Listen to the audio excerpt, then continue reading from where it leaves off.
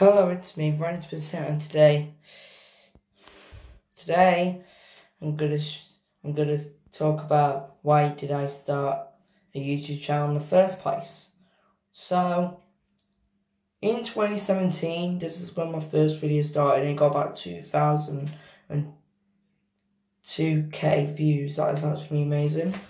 So 2.2k views, like like over 2,000 actually amazing. Really good first video.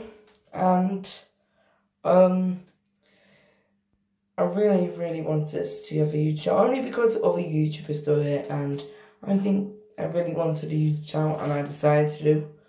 So that's my career. It always will be.